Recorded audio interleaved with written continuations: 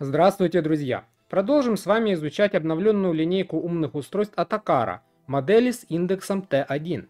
Героем этого обзора будет один из наиболее распространенных датчиков в умном доме, измеряющим параметры температуры, влажности и бонусом атмосферного давления.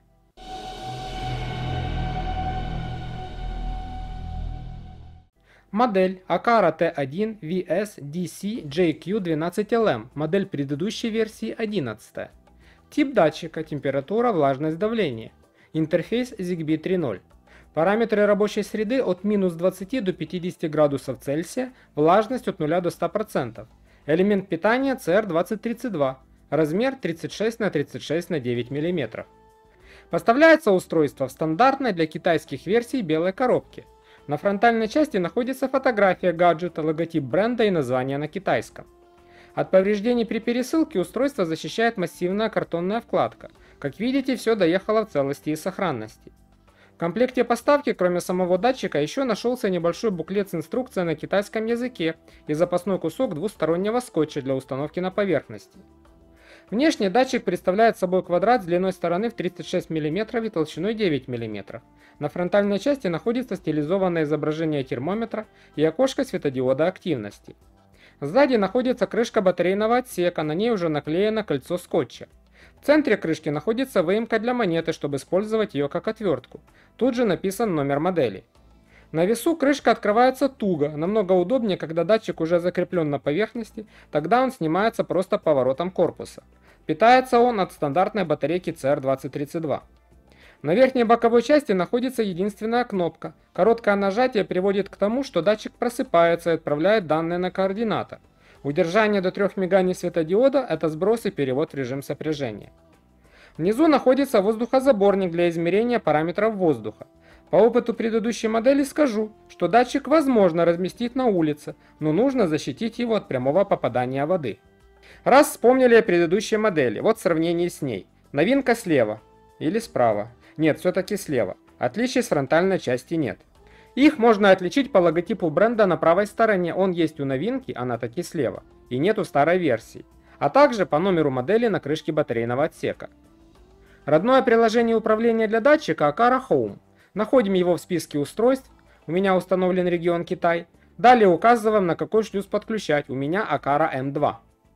Далее, следуя указаниям мастера подключения, нажимаем на кнопку и держим, пока светодиод не мигнет три раза, после чего отпускаем ее.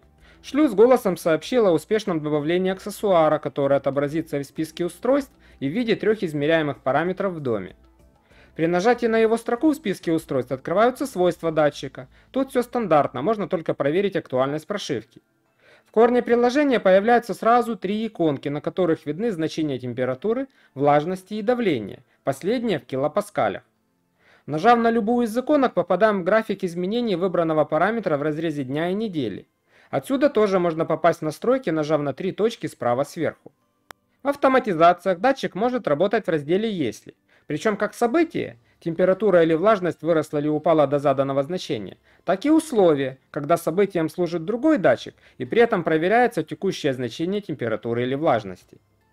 Мой шлюз проброшен в виде моста в Apple HomeKit, и данные с датчика пробрасываются и сюда. Они отображаются в виде иконки сверху, температура крупным и мелким шрифтом влажность. Если кликнуть по нему, откроется окно датчика с этими значениями. Данных по давлению тут нет. В свойствах тут есть данные о заряде батарейки и о привязке к мосту. Строки для создания автоматизации тут нет, их нужно создавать в альтернативных системах или в Akara Home. Для подключения к Mi Home я сначала использовал кастомизированную версию сайта copyba.ru регион Китай. Так как устройство работает по ZigBee 3.0, нужен соответствующий шлюз. У меня Xiaomi Gateway 3. Процесс подключения прошел совершенно нормально. Устройство нашлось в списке и добавилось в систему без проблем. Нормально отобразилось и в списке дочерних устройств шлюза, и в общем списке Mi Home. Кстати, тут в настройках отсутствует пункт проверки версии прошивки. Но дальше все довольно печально. Плагин постоянно пишет о ошибках сети. Из всех параметров на главном экране отображается только температура, но само число некорректное, почти 60 градусов. Это больше похоже на влажность. В окне графики больше похоже на правду, если говорить о температуре и влажности. Данных о давлении нет. В автоматизациях 4 варианта событий, условий как в Akara Home нет. В официальной версии Mi Home, она у меня установлена на iPad, Датчика в списке устройств системы нет. Есть строка в плагине шлюза, но она не активна, открыть плагин датчика нельзя. В Apple HomeKit, где этот шлюз тоже проброшен в виде моста, никаких следов нового аксессуара тоже нет. Пока можно констатировать, что в Mi Home с этим датчиком работать нельзя. Перейдем к альтернативным системам. Хорошая новость в том, что датчик официально поддерживается в ZigBee MQTT. Процесс подключения стандартный, тут проблем не возникает. Естественно, что герой обзора является конечным устройством, батарейка не дает возможности находиться ему в активном состоянии постоянно.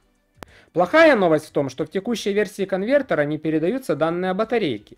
Кому интересна причина, она видна в его коде, пропущен бинт на кластер питания. Кроме этого, еще один нюанс, это особенность, а не ошибка. Давление отображается не в кило, а в гектопаскалях. Благодаря включенному режиму Home Assistant Discovery новое устройство автоматически залетает в систему через интеграцию MQTT. Всего тут 6 сущностей, все относятся к домену сенсоров. Две по умолчанию скрыты, это напряжение в милливольтах и качество сигнала. Для нас более удобными единицами измерения являются миллиметры ртутного столба. Для перевода гектопаскаля используем соответствующий коэффициент. Создаем виртуальный сенсор на платформе шаблонов. В названии я использовал то же имя, что и оригинальная сущность, только добавил в середину про миллиметр ртутного столба. В саму формулу расчета я внес только коэффициент перевода, но стоит понимать, что атмосферное давление еще и зависит от высоты над уровнем моря. При желании можно внести эту поправку, она будет индивидуальна. В следующей строке я указываю условия для доступности. Данные будут обновляться только в том случае, если значение сенсора более 850 гектопаскалей. Это нужно для тех случаев, когда датчик по какой-то причине недоступен. Иначе будут провалы в графике, что делает его неинформативным. Код сенсора ищите в описании под видео. В левом столбце сверху данные с датчика давления и преобразованные показанным методом, так что выбираем кому как удобнее. Поддержка этого датчика есть в SLS-шлюзах с версией прошивки не старше 1 сентября 2021 года. Подключение стандартное, тут добавить нечего. Номер конвертера для этого устройства 59. Все, включая картинку, отображается корректно. Вот параметры, которые получает шлюз с датчика. Уровня заряда в процентах нет, но есть напряжение на батарейке в вольтах, по которой тоже можно ориентироваться. Давление тут как в Home в килопаскалях, так что копирование показанной формулы для ZigBee to MQTT тут не подойдет. Формат будет такой же, но коэффициент в 10 раз больше. Также для топика доступности нужно в 10 раз уменьшить проверочное значение. Я честно пытался найти отличия с первой версией с 11 номером модели, но не нашел. Так что кроме как о интерфейсе у новинки ZigBee 3.0 говорить не о чем. Также новый датчик не поддерживается в официальном и, по крайней мере, пока некорректно работает в модифицированном приложении Mi Home. Датчик также относится к классу редких. На момент выхода обзора на AliExpress я его не встречал. На этом все. Если видео вам понравилось, ставьте лайки. Подписавшись на канал и включив уведомления, вы всегда будете в курсе новых обзоров и уроков. Много интересного и полезного можно прочитать в моем телеграм-канале, ссылка в описании. До свидания, до новых встреч!